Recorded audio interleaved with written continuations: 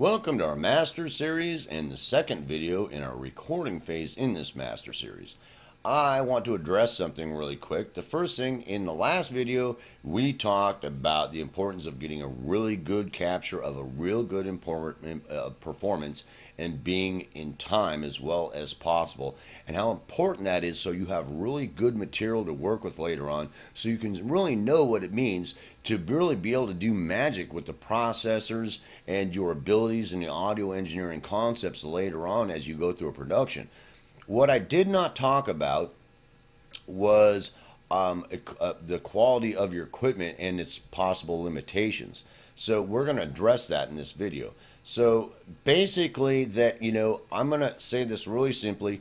If you use your equipment properly and it's set up properly, you can get by with some fairly inexpensive equipment, whether that's microphones, audio interfaces, amps, MIDI input keyboards, guitars, basses, what oboe, whatever. That you if you if it's set up properly and it's a decent piece of equipment, that you can probably get by with it just fine. Um, headphones, monitors, things like that. Also, that most things, if you buy decent equipment, that doesn't mean expensive equipment, that you can get some pretty good quality stuff. It's like this $200 microphone is a pretty decent piece of equipment, bro. It's not a $50,000 microphone, but I know that if I get a really good capture of a really good performance that's in time with this $200 microphone, I can make it sound like if it was recorded through a $50,000 microphone in my processing phase. I know so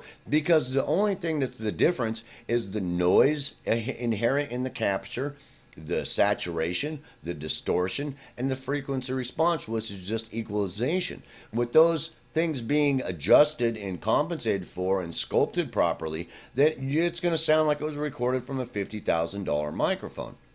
So that is a very simple concept to get through your head that if you use things properly and you set them up properly that you can still do magic. So the reason why I'm saying this is because here I'll give you an example that I, have got. I've, I'm I'm sitting at home and I'm you. I've watched the video and so I pulled out my microphone and I've recorded myself singing "My Dog Has Fleas." Yes, it does. And I get done with it and it just doesn't sound like it's Whitney Houston at the MGM, bro. It just I don't know why it just doesn't. You know, I mean I don't know.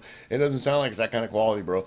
I mean I know I did a really good performance. I was in time and I was not right up on the microphone. I wasn't five miles away from it. I was six to eight inches away from it and then you know I was good to go, you know, pointing at the microphone, you know, where I'm supposed to be, and it just doesn't sound like that kind of quality. Well, that can be the same with your amplifier and you, that you're playing your guitar through or whatever.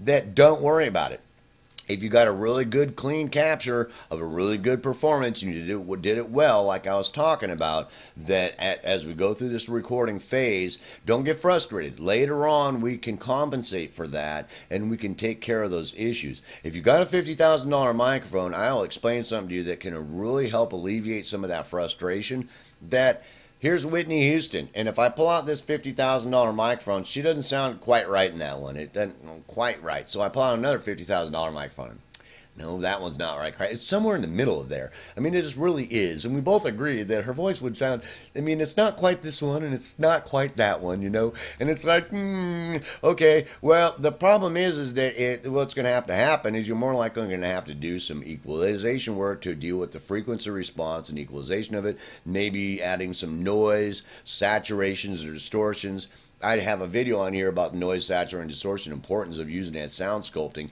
to fix that problem. And then all of a sudden, one of those microphones would work just fine. It's like, well, I know, but I'm, I'll deal with that later. I mean, I know it's a little bit harsh there, but it doesn't sound quite right. Don't worry, we'll fix that later on in the mix. It'll be fine. You know, unless it's really a problem and it's like she sounds like she's playing on a, singing on a Playskool microphone. Obviously, let's not go with that microphone. And sometimes that comes to with experience, but that's a serious truth. So you know, just don't get worried about it. Get that really good capture of that really good performance in time so you got really good material.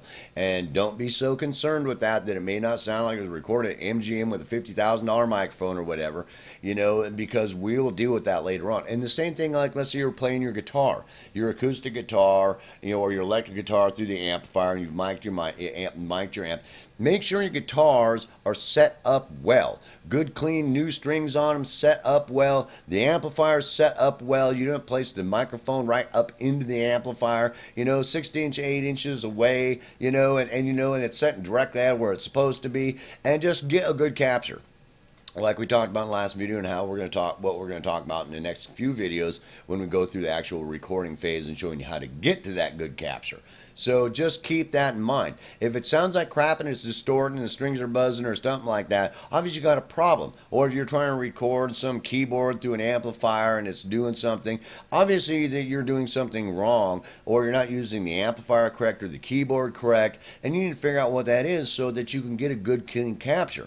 And just take that into consideration and don't worry so much that it doesn't sound like it was running recorded to a $50,000 microphone at MGM because we'll deal with that. And even if you're doing like MIDI parts and your VST isn't the most, you know, expensive VST on the market or your keyboard that you ran directly into your DAW isn't, then we can adjust that. Get as close as you can and do a good job with that. And later on when we start sculpting and, and working on it in the processing phase, that you can still do magic with it if you got a really good capture of a really good performance done well in time and you'll just have to trust me on that because you know you go when I said this is a master series that you expect you know well, I'm gonna be talking he's gonna have all this outboard gear in this huge studio. And we're dealing with audio engineering. So basically you know we want to get a really good capture for good reports and then we want to do audio engineering. And I do it in the box. If you have a bunch of outboard gear and you want to do it on outboard gear with sends or whatever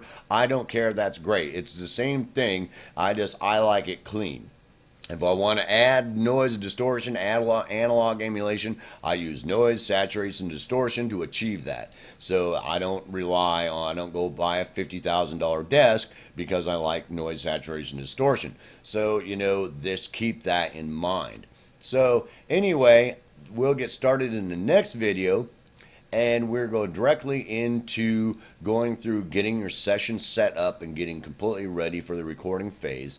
And then that may be two videos and then we'll go into the next video one or two videos that are going to be actually going through the recording phase. And just keep in mind we're going to be dealing with the meat and potatoes things that you need to take into consideration to do a good production. And you will it will become very obvious by the time you get done all the way through this production series of why do it that way. That way that i don't you got some kind of situation or you got some different piece of equipment you're going to have to take that into consideration. How does that relate to these meat and potatoes things you need to be concerned with to get a good production that may cause to have you do some experimentation or something like that and go how do i achieve that with this piece of equipment or this situation? And that basically is something you're going to have to work through. But you'll already have a pretty good understanding of what you're shooting for so getting there shouldn't be that difficult. So peace out love I hope you enjoyed the video and I'll see you in the next video when we get our session set up for the recording phase so we can get to that destination of that really good capture, of that really good performance so we got really good material to work with through our production. See you in the next video.